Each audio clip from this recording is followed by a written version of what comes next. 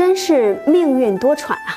他是曹操最长寿的儿子，拒绝当托孤重臣，儿子却成为了皇帝。你知道他是谁吗？这个人啊，就是曹宇。他是曹操与桓夫人所生的儿子。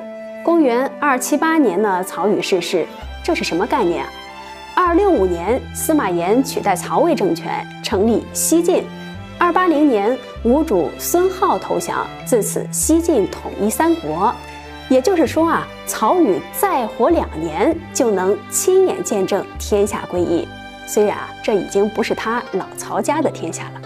要说呢，这曹宇在曹操的众多儿子中啊，可以说是相当没有存在感的。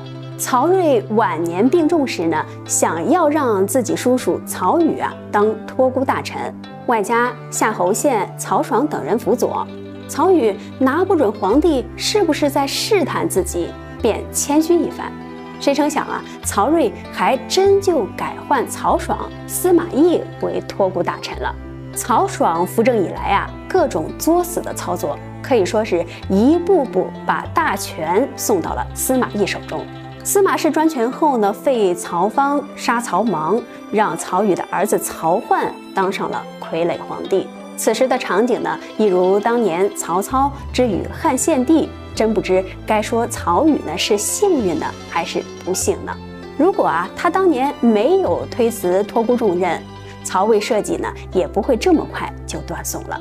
那您认为曹宇当上托孤大臣的话，能扭转局势吗？欢迎在评论区留言讨论，我们下期再见。